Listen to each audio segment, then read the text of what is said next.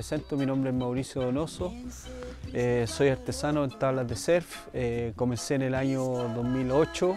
Yo soy de Pichilemus, soy eh, de acá, me crié en la Reina Alcalde y me puse con el emprendimiento de reparaciones y fabricación de tablas de surf. Actualmente estoy trabajando en implementando el nuevo taller y realizando reparaciones y haciendo tablas a pedido.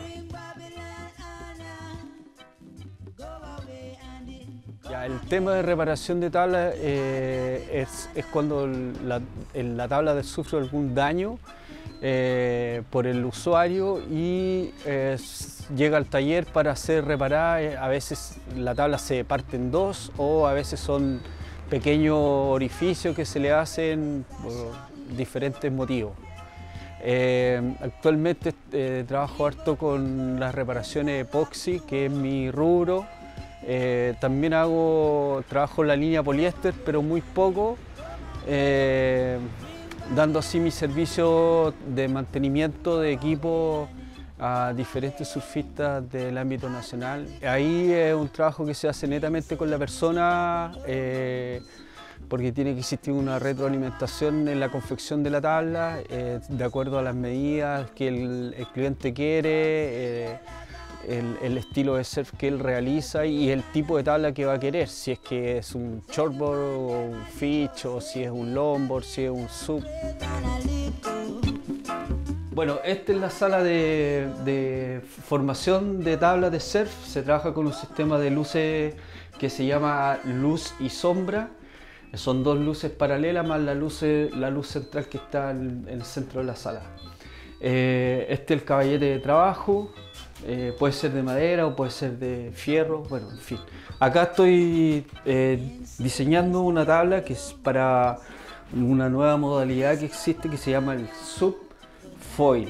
Entonces, esta es una tabla que es 4.8 y aquí ya estamos dibujando el outline de la tabla dentro de este bloque de plumaví, que es plumaví de alta densidad de 30 kilogramos por metro cúbico y después se hace una laminación con resina epoxi y fibra de vidrio bueno, la laminación puede ser pigmentada o puede ser una combinación con madera, también se le puede aplicar madera, chape de madera. Y eso, pues, bueno, aquí está el diseño, se pone esto acá. Y después empezamos a usar diferentes tipos de herramientas como estas escofinas de desbaste para desbastar los, cantos o hacer los tipos de fondo. Eh, en fin, tenemos cepillos también, diferentes tipos de cepillos, algunas herramientas que tiene que ir fabricando, por ejemplo, tacones de lija, eh, de diferentes granos, eh, lijadoras eléctricas, lo más importante, la wincha de medir, eh, la regla de Shaper que está acá, que con esta regla nosotros podemos dibujar que la tabla quede simétrica en cuanto a las medidas de, tanto para de un lado para el otro y, así nos facilita un poco más el trabajo. Eso, esta es la sala de shape. Otra área del taller, eh, esta es la sala de laminación donde hacemos eh, la preparación de resina para hacer la, el enfibrado de las tablas, tanto nuevas como reparaciones.